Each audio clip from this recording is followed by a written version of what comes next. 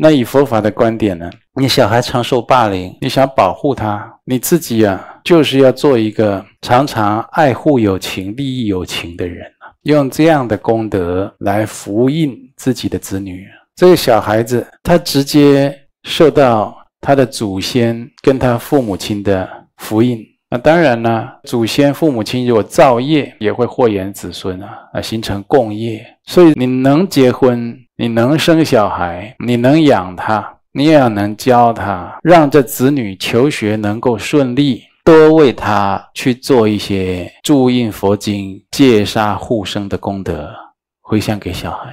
这小孩在学校有的时候啊，情绪会变得很不好，不敢上学，忽然。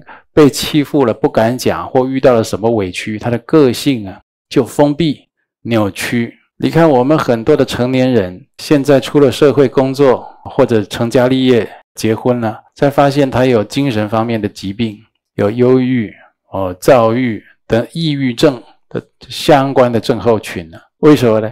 他在幼年或求学的过程中啊，有受到一个委屈逆境，这个心结没有打开。可能被异性啊无情的拒绝过，可能被很多人一起嘲讽过，可能被老师当众责罚，伤了自尊心，可能被同学恶作剧，或者给他当众出丑过。那家长有神通的话，都还得打坐呢，还不一定发现得了了。那就靠佛菩萨来保佑，就靠这小孩有福。为什么？